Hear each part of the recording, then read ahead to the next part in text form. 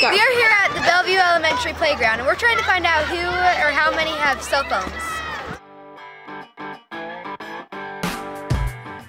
Do you have a cell phone? No. Uh, no. Of course I don't. I'm just eight years old. Do you guys have a cell phone? No. Do you? No. Yeah, I do. I do. I have a phone, so all of you have cell phone. Do you guys use it for internet or? No, I don't.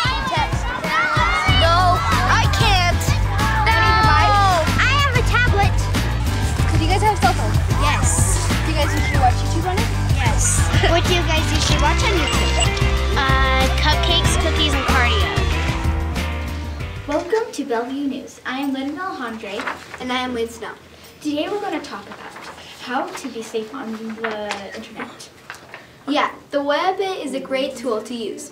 It can help in many ways. But there are also dangers. Like the real world, there are, are strangers on the web. Some of the dangers are giving away your address, first and last name, and the name of your school. Also, don't give away your phone number or email. Now to you, Derek. Hello, my name is Derek Bingham, and I'm here with Professor Trevor. So I just have some questions for you about internet safety, okay? What if a kid went online and saw something inappropriate? What would they do? If they saw something bad online, they should go tell a trusted parent or relative or a teacher. What should they do if they're afraid to tell? That's normal for them to be afraid or embarrassed to tell, but the important thing is that our adult friends are here to help us. They really care about our safety. It's okay to tell. That's good advice. Always remember to tell.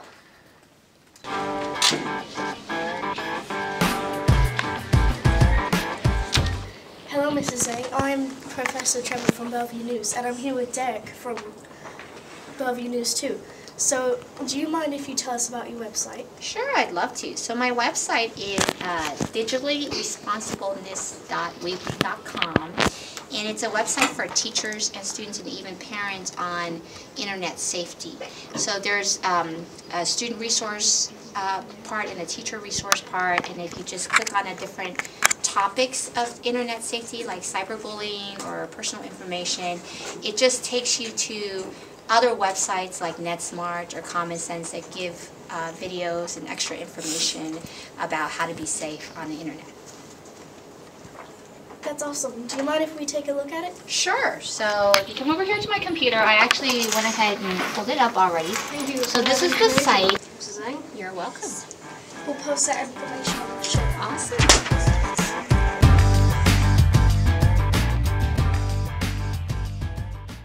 Wow, that was great information. Thank you, Professor Trevor and Derek. Yeah, that was great advice. And never be afraid to tell an adult or anybody who's watching you if you see something inappropriate. Yes, remember to always tell. Now up next is our Cyber Weather Girls. This is Macee Schaugaard and Allison Anderson, and we are giving the report on cyberbullying. What is cyberbullying? Cyberbullying is bullying over the internet. Cyberbullying can be used to embarrass you and threaten you. Cyberbullying can be done on Instagram, Facebook, Twitter, Snapchat.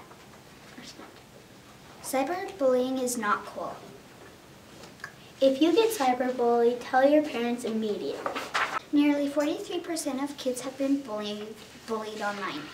One in four have had it happen more than once. To take care of cyberbullying, tell a parent, adult, or someone you trust, and they will take care of it.